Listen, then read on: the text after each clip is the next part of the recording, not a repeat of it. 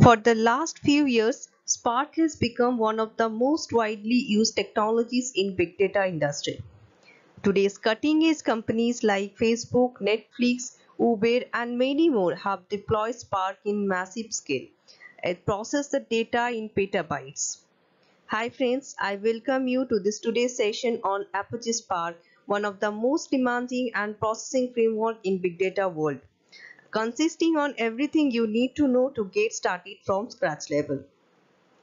So before we get into details, let's look into agenda first for better understanding. So in today's agenda, we will be discussing about introduction of Apache Spark, Hadoop versus Spark, features of Spark, Spark components, then Spark architecture, and then Spark application, and in last, performance optimization technique in Spark. Now coming to the introduction of Spark. Apache Spark is a first and general purpose cluster computing system. It is an open source data processing engine to store and process data in real time across various clusters of computer using different simple programming construct. It is 10x time faster on disk and 100x time faster in memory. It provides different high-level APIs in Java, Scala and Python. It is integration with Hadoop and its ecosystem and it can read data from existing system. Developers and data scientists incorporate Spark into their application to rapidly query, analyze and transform data as a large scale. So now let's discuss about major differences between Spark versus Hadoop. Why we are moving to Spark and we are why we are leaving Hadoop. The first factor is the speed. If you see in Hadoop, the Hadoop basically faster than traditional system only. But in case of Spark, that is 100x time faster than MapReduce. And on language perspective, Hadoop use Java which is very lengthy and complex as a user perspective. But Spark uses Scala which is very user friendly. That's why it is much more feasible compared to Hadoop. Now coming to data processing. Hadoop only process batch data, but in case of Spark, it process batch, real-time, iterative, interactive, graph, and many more. That's why every type of data processing operation happens in Spark and that's why it is much more feasible option compared to Hadoop. Now in case of ease of use, Hadoop is complex and lengthy as I have mentioned it is used Java and which is not that much of user friendly compared to Spark. But Spark has compact and easier than Hadoop. Now another most important difference between Hadoop and Spark is caching. Hadoop doesn't support caching of the data, but Spark it caches the data in memory and enhances the system performance. So those are the basic and major differences between Spark versus Hadoop. Now coming to the different features of Spark. I have mentioned Spark has different features like speed, dynamic in nature, in-memory computation, reusability, fault tolerant in Spark, real-time stream processing and lazy evaluation. I'll be discussing every features in detail right now. First coming to speed. Using Apache Spark, we achieve a high data processing speed of about 100x time faster in memory and 10x time faster on disk. This is made possible by reducing the number of read-write to disk. Now second is dynamic in nature. We can easily develop a parallel application as Spark provides 80 high-level operators. Now the most important features in Spark is in-memory computation in Spark. With in-memory processing, we can increase the processing speed. Here the data is being cached so we need not fetch the data from disk every time. Thus the time is saved. Spark has DAG execution engine which facilitates in-memory computation and acyclic data flow resulting in high speed. Now coming to reusability. We can reuse the Spark code for batch processing, join stream against historical data or run ad hoc queries on stream state. Now coming to another important feature of Spark is fault tolerant in Spark. Apache Spark provide fault tolerance through Spark Abstraction RDD. Spark RDDs are designed to handle the failure of any worker node in the cluster. Thus, it ensures that the loss of data reduces to zero. I'll be discussing about Spark RDD in detail in later slide. Now coming to real-time stream processing. Spark has a provision for real-time stream processing. Earlier, the problem with Hadoop MapReduce was it can handle and process the data which is already present, but it is not able to handle real-time data. So when Spark came into existence, it can easily solve this problem and it can easily process real-time data. Now coming to the last feature that is lazy evaluation of Spark. All the transformation we made in Spark RDD are lazy in nature. That is, it does not give the result right away rather than new RDD is formed from the existing one. Thus, it takes some time to start the action phase. So thus this increases the efficiency of the system. So those are the important features of Spark. So now let's discuss about Spark components. The main Spark components are Spark Core, Spark SQL, MLIB, GraphX and streaming. From this picture perspective, I have created this view in such a way so that you can get the entire clear architecture of Spark. So from that picture, if you see the engine is Spark Core, which is one of the most important component of Spark. Now on language and perspective, this is used by Scala, R, Java and Python. And on libraries perspective, Spark SQL, MLLIB, GraphX and streamings are categorized and the cluster management are handled by Hadoop Yarn, Apache Mesos, Spark Scheduler. And the Spark storage components are HDFS, standalone node, cloud, RDBMS and NoSQL. So I'll be discussing each and every Spark component in detail in later slide. Now let's start with Spark Core which is one of the major components of Spark. All the functionalities being provided by Apache Spark are built on highest of the Spark core. It delivers speed by providing in-memory computation capability. Spark core is the foundation of parallel and distributed processing of giant dataset. It is the main backbone of essential input-output functionalities and significant in programming and observing the role of Spark cluster. It holds all the components related to scheduling, distributing and monitoring job on cluster. Task dispatching, fault or recovery. The functionalities of these components are it contains basic functionality of Spark, mainly the task scheduling, memory management, fault recovery, interacting with storage system. And the second functionality of the Spark core is home to API that defines RDD. If you see from this picture perspective, RDD has different features. Mainly RDD has two phases that is transformation and action. So I'll be discussing every detail of RDD in later slide but before that I'll be giving some overview of RDD. If you see from this picture, the RDD has transformation phase which uh, creates new RDD and this new RDD again creates another RDD. So in such a way the sequence of RDD is created for computation of data. Now coming to the action phase which is happen after transformation.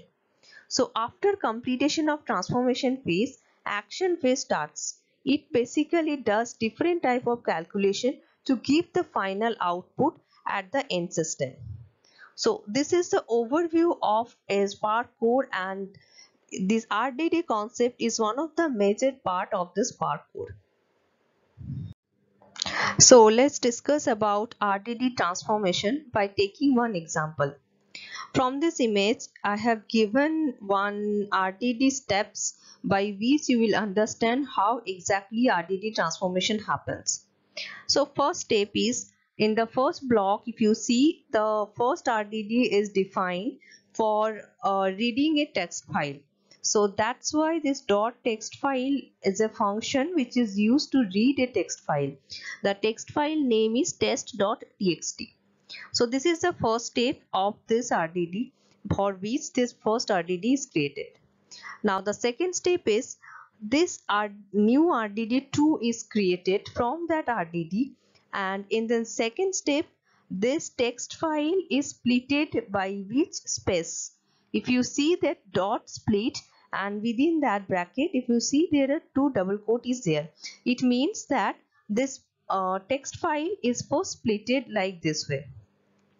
Now in the third step it is mapped so the entire map operation this is one of the function which is used for uh, transformation of this RDD so here mainly this RDD is used for map function now coming to the fourth step, here one of the calculation is used uh, that is one filter function is used. Filter is one of the inbuilt function in Scala.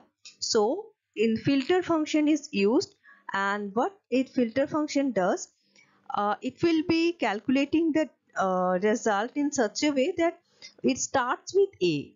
So in the text file, it uh, does the calculation in such a way that uh, it contains and starts with A only. Now coming to uh, next phase that is fifth phase after uh, filtering of that RDD it does the reduce by key operation. So by use this reduce by key operation it accumulate the data and then it is going for the next step. So now the next step is RDD6 which is the new RDD.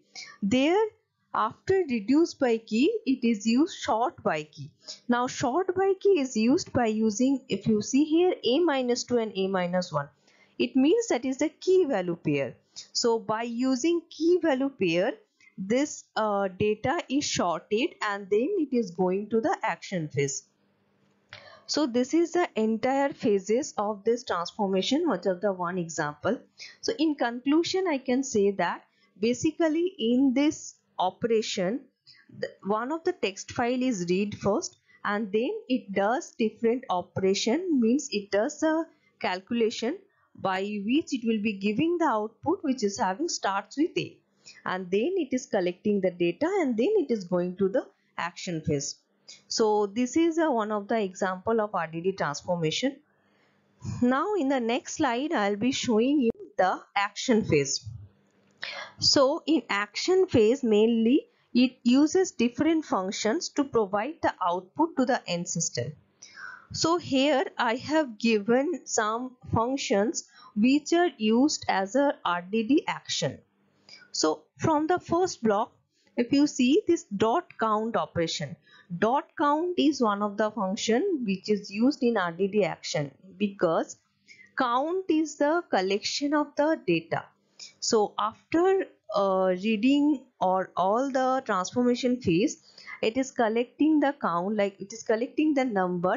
So this happens in the action phase so that's why we consider count is one of the RDD action not the transformation phase and then going to the collect which I have given in bold letter. So there are four example I have given.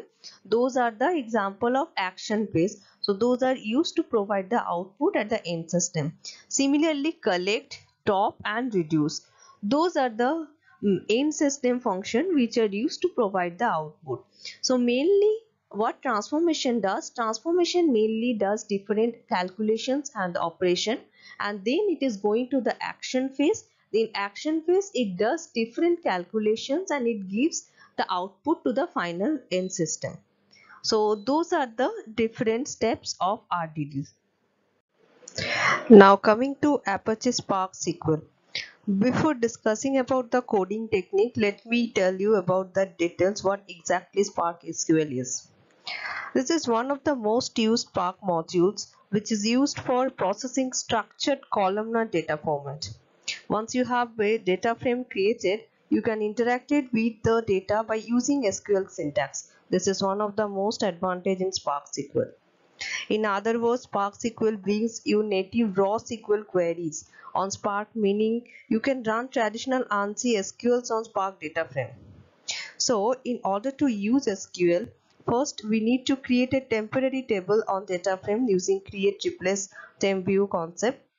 And then once you create it, this table can be accessed throughout the Spark session and it will be dropped along with your Spark context termination. So let me uh, tell you the coding which I have done here. First thing is for uh, there is one uh, CSV file is present in any of the path. So first what you have to do, you have to read that CSV file by using spark.read.csv. After that, uh, you can do different type of SQL queries by using these steps.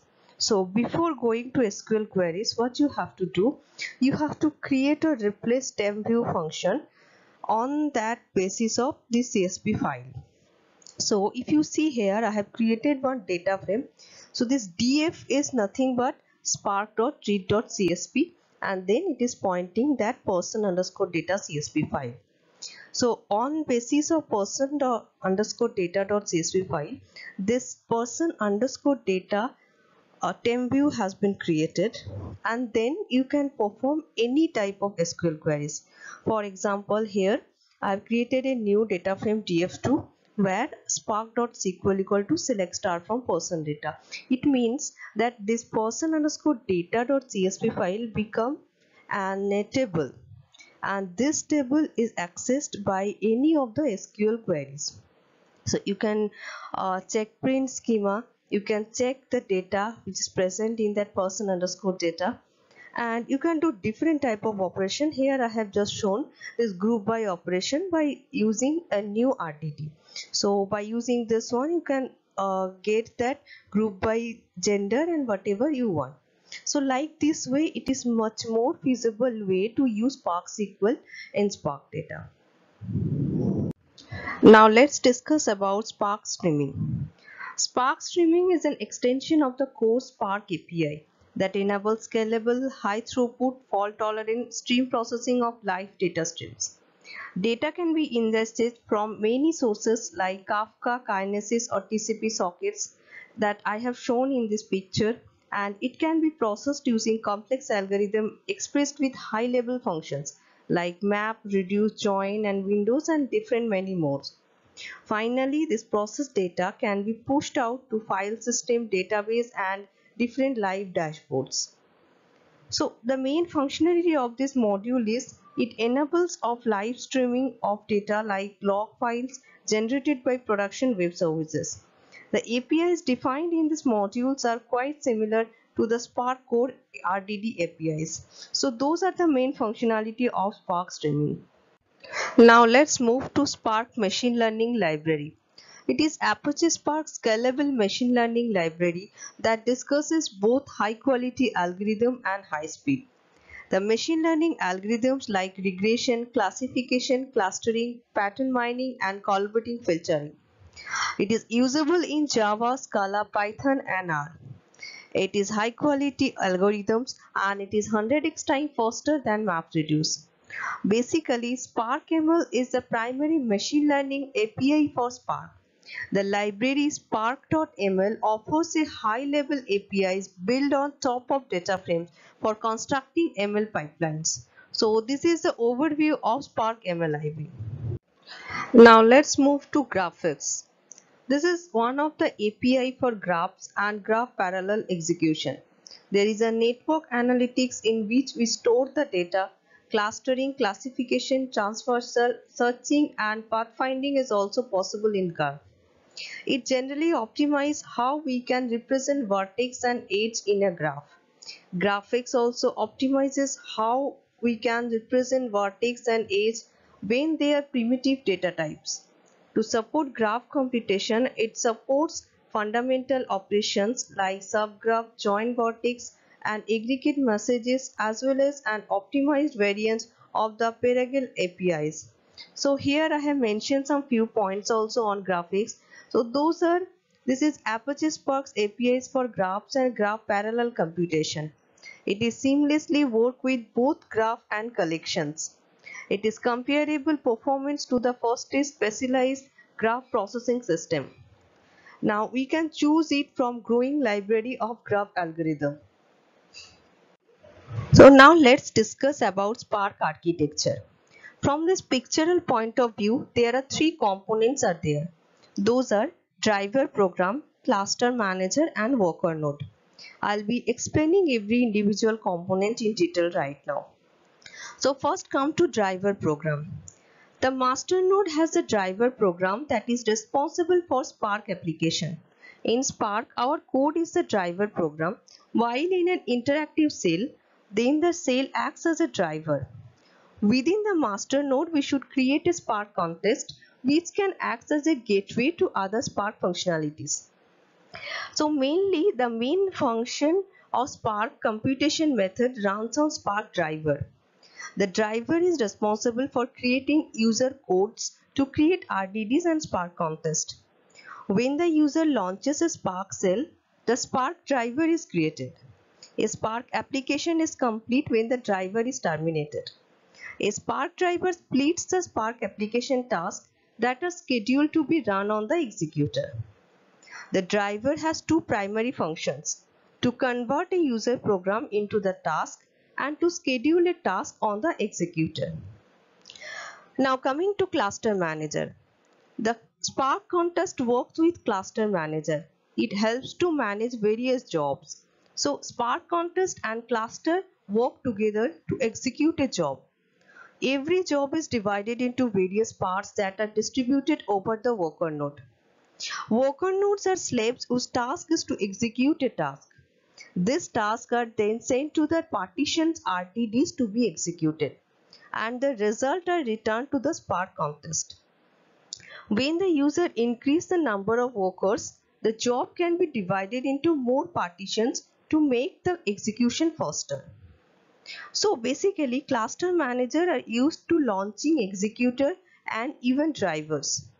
Jobs and actions are scheduled on the cluster manager using Spark scheduler like FIFO. So it is a pluggable component of Spark and its application can be dynamically adjusted depending on the workload. This enables the application to use free resources which can be requested again when there is a demand. So this feature is available on all cluster managers.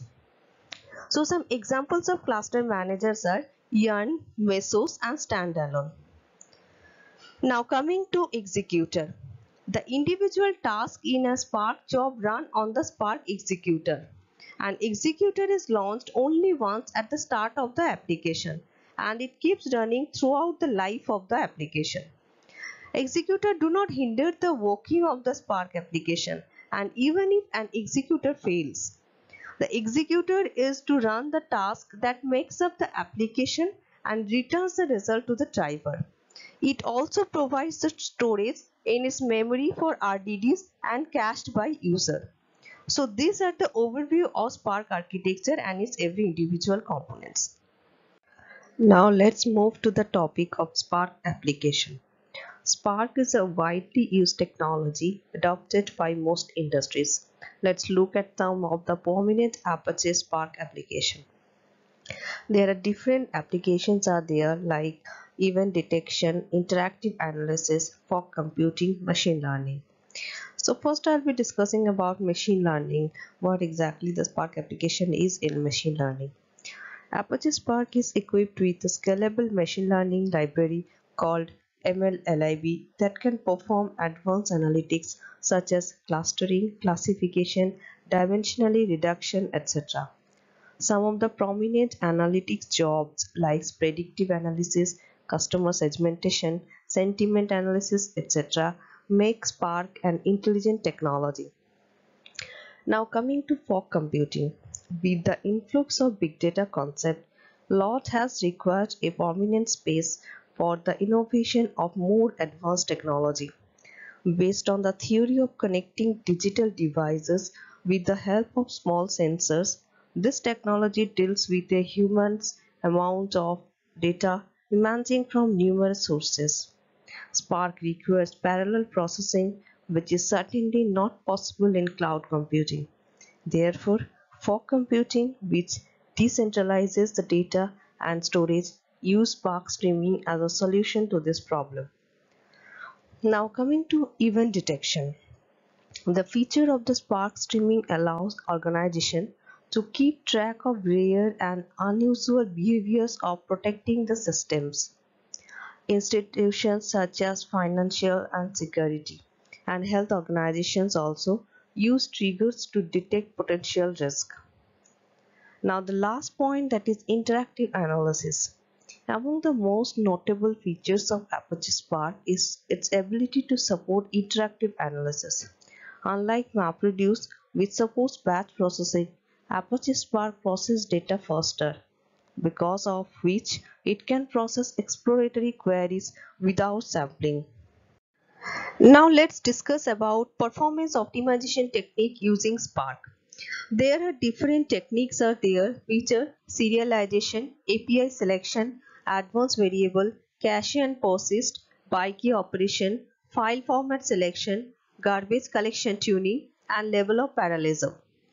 Let's first discuss about serialization. Serialization plays an important role in the performance of any distributed application. By default, Spark uses Java serializer. Spark can also use another serializer called Kryo serializer for better performance.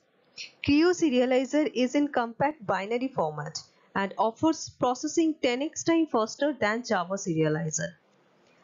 Now coming to API selection. Spark introduced three types of API to work upon. Those are RDD, data frame and dataset. So I'll be discussing every individual performance components in detail in next slide now. So first coming to RDD. So RDD is a used for low level operation with less optimization. So from this picture you can see the RDD is defined like this way. So val RDD1, so RDD1 is a new RDD which is used for reading one text file and by using that it is able to read the text file and then it would like to collect all the data which is present on the text file. So how we can do this? By doing rdd1.collect operation we can get the list of data which are present on that prefill.txt file. So this is the format and this is the way by which RDD is taken place. Now coming to data frame. Data frame is the best choice in most cases due to the catalyst optimizer and low garbage collection over it. This mainly is visible by table format. So if you see here, uh, first I have defined a data frame val df where it is defined as a JSON file. So mainly this one of the JSON file is called and it is read. So after reading that JSON file, uh, it does one filter operation like df.filter so that whatever the uh, filter operation is age greater than 21. So whatever the uh, people having the age 21 it will be selected. Now coming to dot show.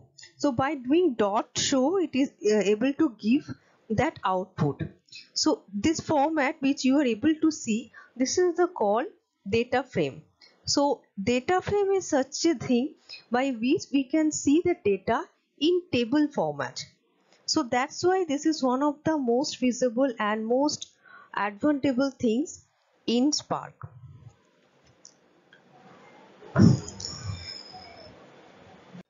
Now coming to dataset.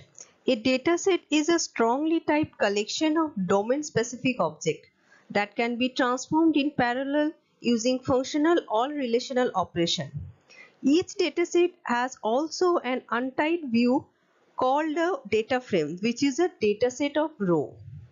So operations available on dataset are divided into transformation and action. Transformations are the ones that produce new dataset and actions are the ones that trigger computation and return results.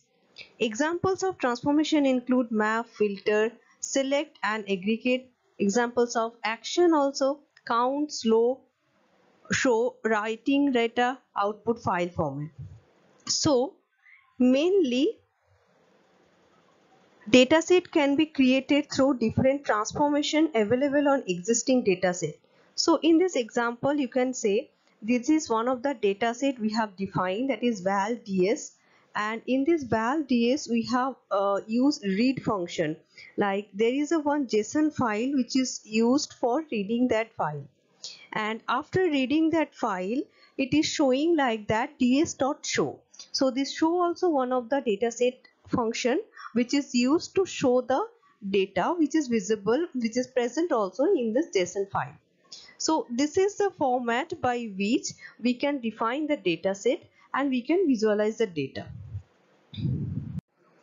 Now coming to another Spark optimization technique that is definition of advanced variable.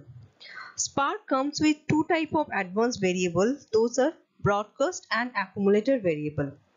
Broadcasting plays an important role while tuning your Spark job and broadcast variable will make your small dataset available on each node and that node and data will be treated locally for the process. Suppose you have a situation where one dataset is very small and another dataset is quite large. So what you have to do and you if you want to perform the joint operation between these two in that case we should go for the broadcast join so that the small dataset can fit into your broadcast variable. The syntax to use broadcast variable is I have defined that in this below slide. So by this way you can define that broadcast variable. So here we have a second data frame that is very small and we're keeping this data frame as a broadcast variable.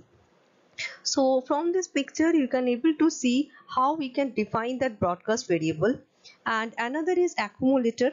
The accumulator variable is defined like this way.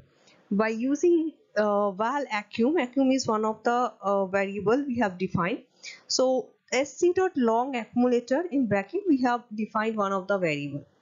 So like this way we can uh, define accumulator and as well as broadcast variable now let's move to rest of the spark optimization techniques those are cache and persist, by key operation, file format selection, garbage collection tuning and level of parallelism.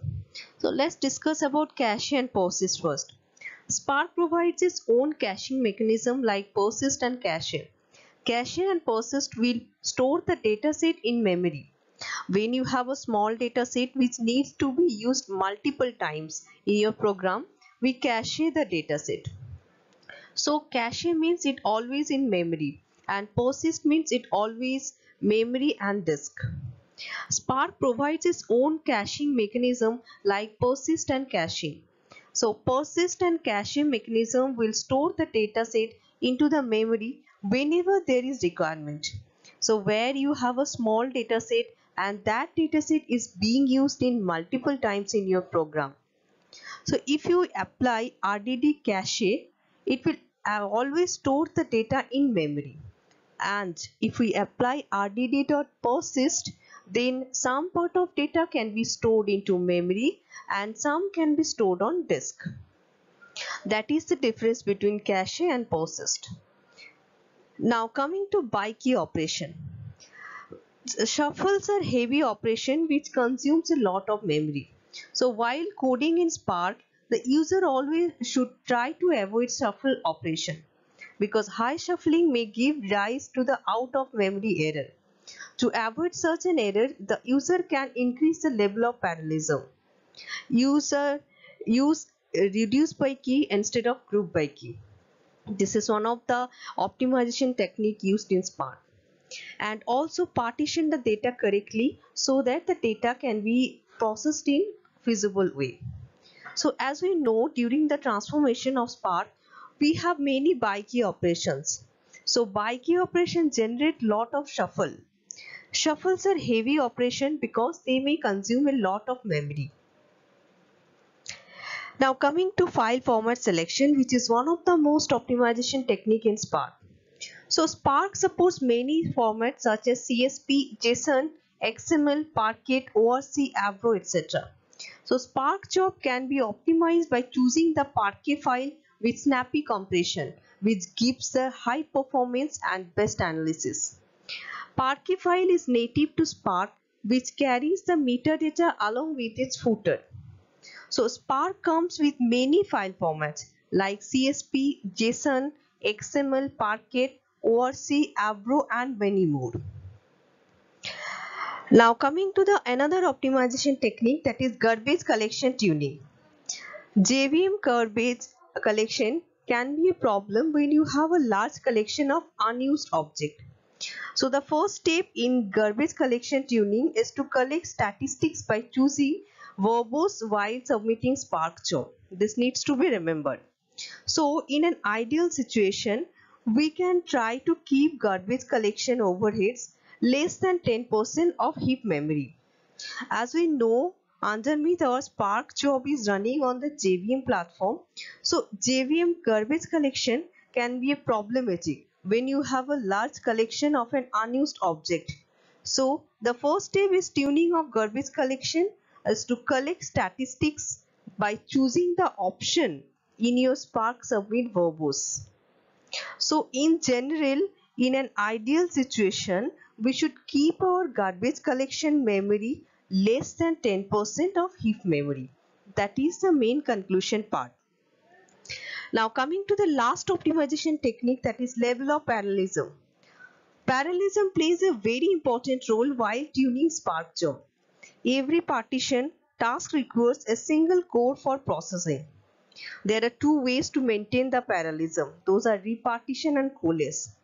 So repartition gives an equal number of partition with high shuffling and coalesce generally reduces the number of partition with less shuffling. In any distributed environment, parallelism plays very important role while tuning your Spark job. So whenever a Spark job is submitted, it creates the disk that will contain stages and the task depend upon partition. So very part, every partition or task requires a single core of the system for processing. There are two ways to maintain the parallelism, repartition and coalesce. So whenever you apply the repartition method, it gives you equal number of partition, but it will shuffle a lot. So it is not advisable to go for partition when you want to lash all the data. So coalesce will generally reduce the number of partition and it creates the less shuffling of the data. So that's why coalesce is much more feasible option compared to repartition. So those are the optimization technique of Spark that we have discussed right now. So guys, this brings to the end of the session on basic level of Apache Spark. If it is helpful to you, please do subscribe my channel for getting more informative content on big data coding and interview questions. Thank you.